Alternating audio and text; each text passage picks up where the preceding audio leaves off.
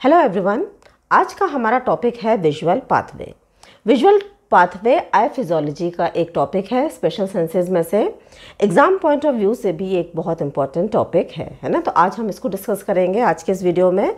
तो इस वीडियो में हम विजुअल पाथवे क्या है, क्या उसका कंपोनेंट्स हैं, इसके बारे में डिस्कस करेंगे. और अगर विजुअल पाथवे के अंदर कोई लीजन होता है तो उससे क्या क्या चेंजेस देखने को मिलेंगे, ये भी हम इस वीडियो में डिस्कस करेंगे, है ना? तो विजुअल पाथवे क्या होता है? अगर हम डेफिनेशन देखें विजुअल पाथवे की it is a pathway which transmit और convey the nerve impulse from retina to the brain ये एक ऐसा पाथवे है, या फिर आप ये कह सकते हैं कि एक ऐसा न्यूरल कनेक्शन है जो कि इम्पल्सेस को नर्व इम्पल्स को रेटिना से लेकर ब्रेन तक लेकर जाने का काम करता है है ना? अब ये जो डायग्राम है आईबॉल का, जो लाइट रेज हैं, सबसे पहले ये बाहर से आती हैं स्ट्राइक करती हैं। कॉर्निया और लेंस से होते हुए they fall on the retina अब रेटिना के अंदर कुछ फ़ोटो रिसेप्टर्स होते हैं, जो कि लाइट एनर्जी को कन्वर्ट करते हैं into the action potential and this action potential is taken up by the nerve fibres to the brain जहाँ पर ये जो इन्फॉर्मेशन है, इसका इंटरप्रिटेशन एंड इंटीग्रेशन होता है है ना? तो अब कौन कौन से न्यूरॉन्स हैं जो कि विजुअल पाथवे के अंदर इन्वॉल्व होते हैं? तो यहाँ पर एक न्यूरॉन नहीं है जो कि इन्फॉर्मेशन को राइट फ्रॉम द आई पूरा का पूरा वो ब्रेन तक लेकर जाता है। There are set of neurons है ना? तो there are actually three order of neurons three set of neurons हैं जो कि एक इन्फॉर्मेशन को दूसरे को देंगे, दूसरा तीसरे को देगा and in this way the nerve impulse is conducted है ना? तो जो फ़र्स्ट ऑर्डर न्यूरॉन है that is the bipolar cells ये बायपोलर सेल्स के बारे में हम रेटिना की जब हमने लेयर्स पढ़ी थी लेयर्स ऑफ़ रेटिना में हम डिस्कस कर चुके हैं, ठीक है? सेकेंड ऑर्डर न्यूरॉन है गैंग्लियन सेल्स है ना? तो ganglion cells second order neuron को बनाते हैं। Bipolar cells convey the message to the ganglion cells and ganglion cells convey the message to the third order neuron, which is present in the lateral geniculate body. Lateral geniculate body is a part of thalamus तो cell bodies यहाँ पर third order neuron की located रहती हैं। यहाँ से further information is carry to the brain है ना? तो कुल मिलाकर there are three order neurons which carry the information to the brain first is the bipolar cell second are the ganglion cells and third is the lateral geniculate body ganglion cells के जो axons हैं, ये आपको पता ही है, ये बनाते हैं हमारी ऑप्टिक नर्व को। ठीक है? अब ये जो विजुअल पाथवे है, इसका फ़ंक्शन क्या है? What is the function of visual pathway तो इसका फ़ंक्शन एक ही है इट हेल्प्स इन विजन तो it is responsible for detection of shape movement and colour of the object है ना? किसी भी ऑब्जेक्ट को शेप को आइडेंटिफाई करना, उसका कलर को आइडेंटिफाई करना मूवमेंट को आइडेंटिफाई करना, ये सारी की सारी चीज़ें they occur through the visual pathway okay now let us study about the components of visual pathway है ना? तो कॉम्पोनेंट्स ऑफ़ विजुअल पाथवे को हम डायग्राम के माध्यम से समझते हैं। इस डायग्राम में यहाँ पे there is the left eye and here is the right eye है ना? तो दोनों आई को हमने डायग्राम में दिखाया है।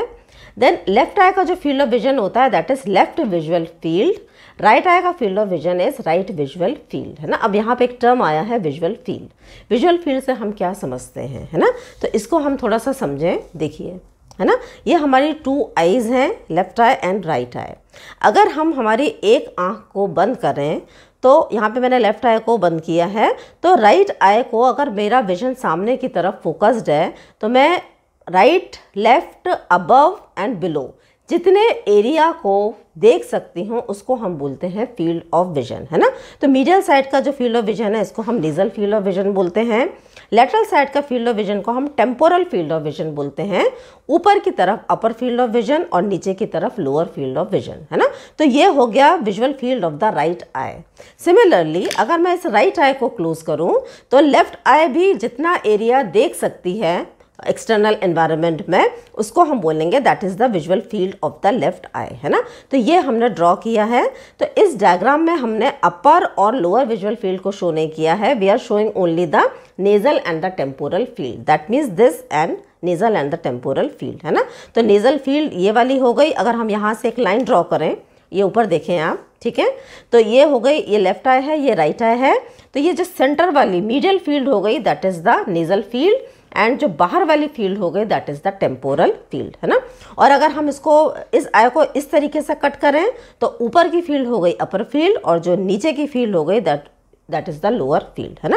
लेकिन यहाँ पर अभी हम सिर्फ़ नेज़ल और टेम्पोरल फ़ील्ड के बारे में डिस्कस करेंगे, ठीक है? तो अब आप यहाँ पे देखें तो ये जो नेज़ल फ़ील्ड है, अब जब लाइट रेज रेटिना पर पड़ती हैं तो कभी भी light rays they are always parallel nasal fibres हैं they are coming from the temporal field of vision and the temporal fibres are coming from the nasal field of vision है ना? Light rays हमेशा parallel जाती हैं, ठीक है? थीके? इतना आ गया होगा आपको समझ में? तो अब हम आगे बढ़ते हैं, है ना? तो अब देखें आप components of the visual field जो पहला कॉम्पोनेंट है दैट इज़ द रेटना तो रेटना हमने यहाँ पे this this portion this is the retina है ना? ये सामने का भाग है। ये रेटिना है। तो लाइट रेज आई रेटिना पर पड़ी। रेटिना के अंदर फ़ोटो रिसेप्टर्स हैं। फ़ोटो रिसेप्टर्स के अंदर फोटोकेमिकल रिएक्शन हुआ। और उसके बाद में डिफरेंट लेयर ऑफ़ न्यूरॉन्स हैं, जो कि हम रेटिना में पढ़ चुके हैं। तो वहाँ से set of impulses they go further and they relay at the second part that is the optic nerve है ना?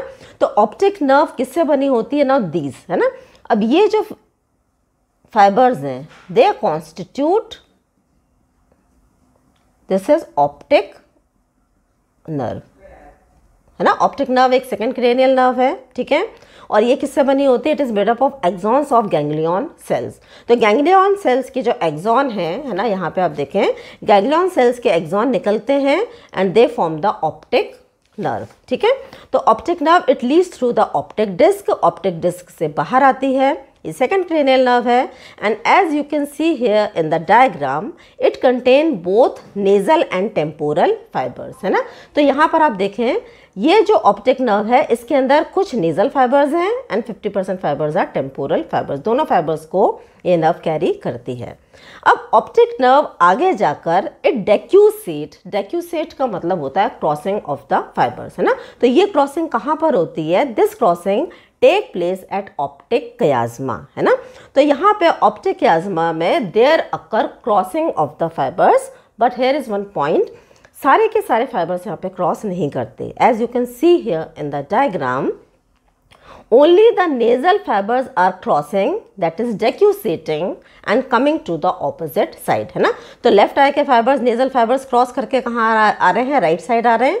राइट आई के नेजल फाइबर्स क्रॉस करके कहाँ आ रहे हैं? लेफ़्ट साइड में आ रहे हैं है ना? तो यहाँ पर हमको एक बात जो ध्यान रखनी है that is nasal fibres cross and decussate temporal fibres do not cross और डेक्यूसेड। टेम्पोरल फाइबर्स की क्रॉसिंग नहीं होती, नेजल फाइबर्स की क्रॉसिंग होती है एट द ऑप्टिक कैजमा ठीक है? तो ये वाला जो पोर्शन है दिस पोर्शन इसको हम बोलते हैं ऑप्टिक कैजमा देन ऑप्टिक याजमा यानी कि क्रॉसिंग के बाद में नाउ दिस वन है ना? अब ये बन जाता है this is the optic tract तो ये जो ऑप्टिक ट्रैक्ट है, इसके अंदर क्या होता है?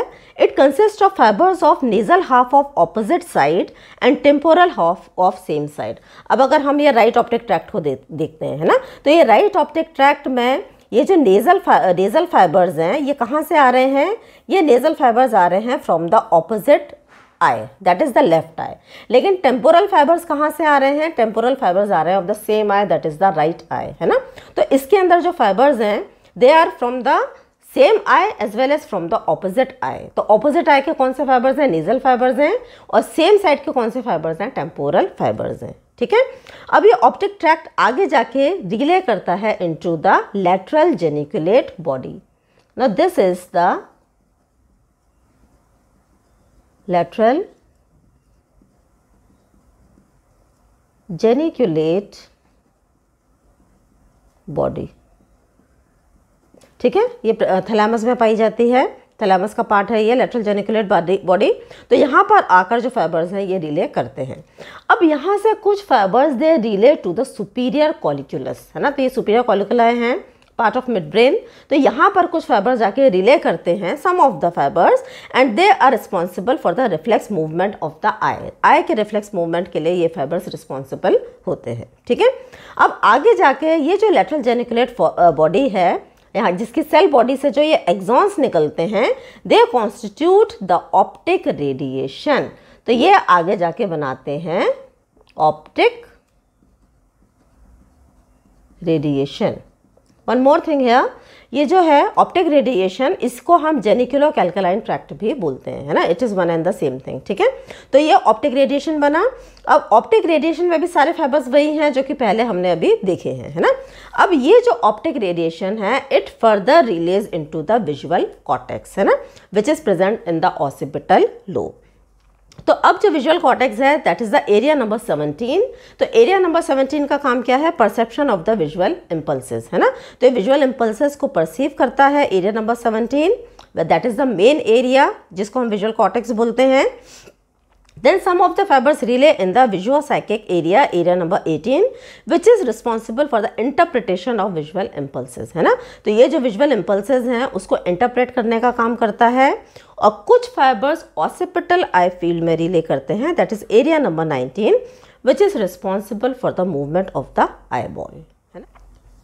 So these are the components of the visual pathway ना, पहला हो गया रेटिना रेटिना के बाद में ऑप्टिक नर्व जो कि बनाती है ऑप्टिक याजमा ऑप्टिक याजमा में नेजल फाइबर्स की क्रॉसिंग ओवर होती है. टेम्पोरल फाइबर्स सेम साइड ही ट्रेवल करते हैं. Then it constitute the optic tract जो कि रिले करता है लेटरल जेनिकुलेट बॉडी में. और आगे जाके ऑप्टिक रेडिएशन बनाता है, जो कि रिले करता है विजुअल कॉटेक्स में, है ना? तो अब देखें आप, यहाँ पे थ्री सेट ऑफ़ न्यूरॉन्स थे। पहला था बाइपोलर सेल कहाँ थे ये? They are present in the retina ठीक है? सेकेंड है गैंग्लियन सेल ये भी कहाँ थे? They are present in the retina लेकिन गैंग्लियन सेल के axons these are the axons जिन्होंने बनाई ऑप्टिक नर्व है ना? So these are the axons of the second order neuron और इन्होंने कहाँ जाके रिले करा? Into the lateral geniculate body तो थर्ड ऑर्डर न्यूरॉन हमारा कहाँ हो गया? इसकी सेल बॉडीज हैं लेटरल जेनिकुलेट बॉडी में और इसका जो एक्सॉन है, ये रिले करता है विजुअल कॉटेक्स में। Now let us understand the lesion of visual pathway है ना? तो यहाँ पे कुछ टर्म्स हैं जो कि हमको समझने पड़ेंगे।